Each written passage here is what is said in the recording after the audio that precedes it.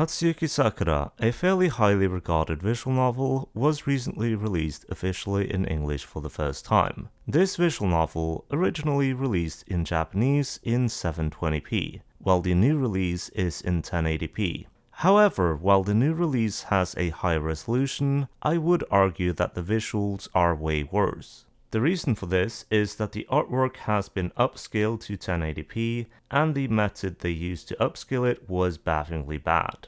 In this video, I will first go through how I found out about this poorly used upscaling. Then I will show some comparisons between the original art from the Japanese release and this new release. Then compare the artwork found in the new release with other upscaling methods to showcase how bad this method of upscaling that they used is. Now, the reason I found out about this is because I'm kind of weird. When I finish a visual novel, I like to collect all the CGs from the visual novel, which I do either through extracting the files, or if this isn't possible, through taking screenshots of all the CGs. Hatsuyuki Sakura is a visual novel that I finished earlier this year in Japanese, so I have all the CGs as image files. Because of how much of an artistic bastard I am, I want to have the best versions of these CGs, so I figured I would replace the ones I took from the Japanese release in 720p with the new high-res versions from the English release. First, I downloaded the free 18 Plus patch since I knew that at the very least it would contain the 18 Plus artwork. I then extracted all of the CGs using Garbro. Here I found not only 18 plus stuff but also some CGs from all ages scenes. To make sure that these were in fact better than the 720p ones, I did some comparisons, and I found that a lot of details were missing, and that the lines were smoothed out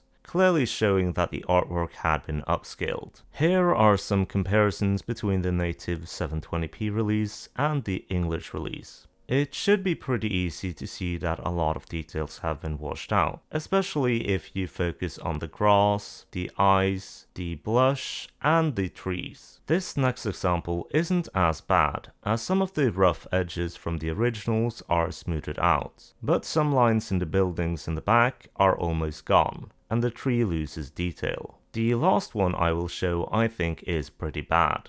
Most of the details of the wall is gone, the dolls have lost multiple eyelashes, and details are washed away from the menu. I did not look into the character sprites and the normal backgrounds, but I would assume that they also use the same upscaling. One thing that makes this particularly bad is that it's very easy to do a way better job of upscaling yourself than what has been done for this new release. When I read visual novels, I often use a program called Magpie, which upscales a visual novel that is windowed to full screen in real time, as you read. Here are some comparisons to screenshots I took with Magpie. As you can see in these examples, while the upscaling of Magpie isn't perfect, it manages to retain a lot more details from the original image than the new release. In all of these examples, most of the major issues found in the new release is fixed. So if you wanted 1080p, then using Magpie or other upscaling programs yourself on the original release will give you a much better result. Magpie, of course, is a rather rough upscaler, as it needs to be able to upscale in real time as you're reading the visual novel. If you were to instead upscale each individual image with a decent upscaler, you would get a much better result. Personally, I also like to have a copy of the CGs I collect in 40 and 40p, and for this I use Waifu2X, which I think works pretty well. So here are some comparisons with Waifu2X where I upscale the image to 1080p.